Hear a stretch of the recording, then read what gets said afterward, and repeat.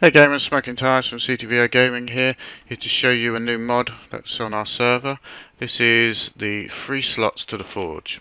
So I'm just going to put a forge down. Anywhere will do really, won't it? So, um, and when you open it up, you'll see now that you have three slots on the input slots for melting. So all three can be used at the same time to speed up your smelting process. The rest of the forge use is exactly the same.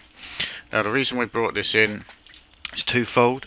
The forges can be fairly intensive onto the server, especially when you've got a lot of players, a lot of forges running. So with an additional slot that we built into this, this will hopefully reduce the number of forges on the server and therefore increase performance when we've got a large amount of players.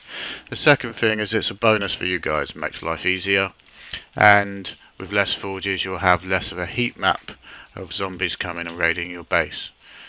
So I hope you find this useful in game. Thanks for watching. Bye for now.